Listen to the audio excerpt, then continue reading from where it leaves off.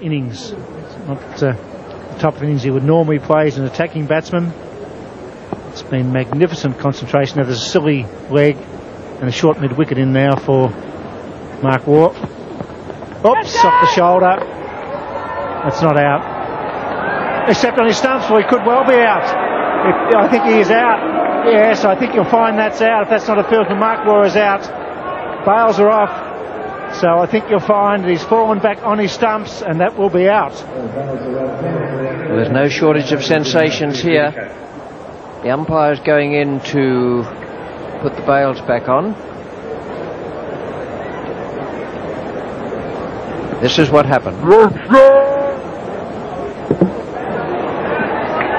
that, that's uh, that's okay. That's not out. Oh, I think you'll find the new rule says that's out. Oh, I think you'll find that that is out, Richie. We'll have to wait and see. I'll have to check the laws of. In the stroke here, he's been hit and he's walked away. Well, I suggest that's out. Final test match. Umpire Steve Davis gives him not out. Now there you go. I think 100 Coney